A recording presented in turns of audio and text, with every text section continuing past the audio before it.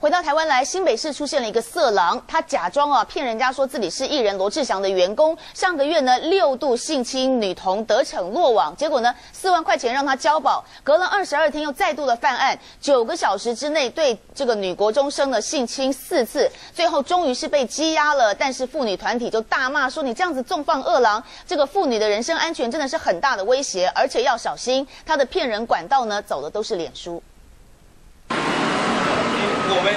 头戴安全帽、身材壮硕的江姓男子，在 Facebook 上扬称自己是艺人罗志祥的幕后员工，还写着“我缺少的不是快乐，而是你”。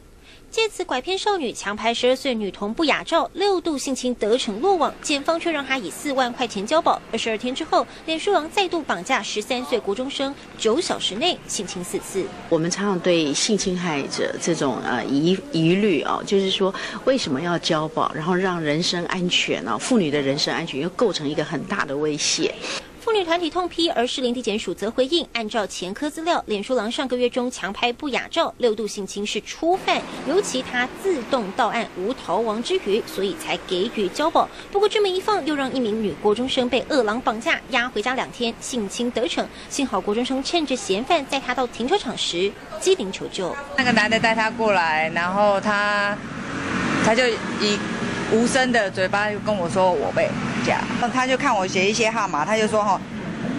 阿姨，我跟你讲哦，有几个号码很热门哦，你去签签看看，可说不定会中奖。然后他就报这个零九零八零三零七二六，偷偷留下父亲电话号码，才好不容易结束这场交友噩梦。但嫌犯打着小猪罗志祥的名号招摇撞骗，就算恶心恶狼已经被羁押，也难以弥补受害少女的心灵创伤。春讯吕龙生陈曼威新北市采访报道。